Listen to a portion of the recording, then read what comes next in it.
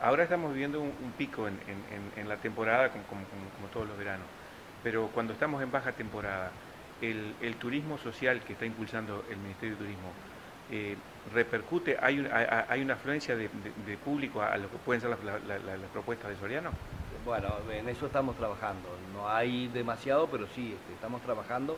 Si nosotros tenemos, para nosotros el, el programa de turismo social es fundamental. Hemos logrado, digamos, en el emisivo, logramos que desde los de pueblitos más chiquitos de, la gente más alejada haya podido salir, hemos llevado la propuesta a todas las localidades, este, después la gente elige, quiere, no quiere, solo lo que preocupa es que la gente sepa que hay esa oportunidad inmensa a través del turismo social.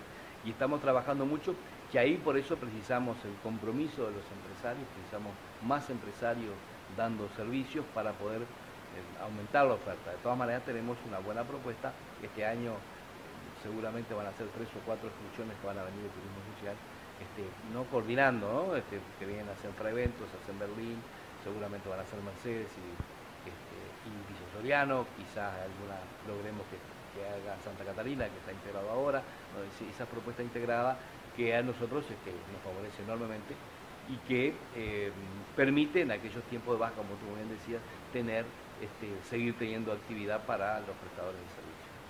Muchas gracias, mi amor.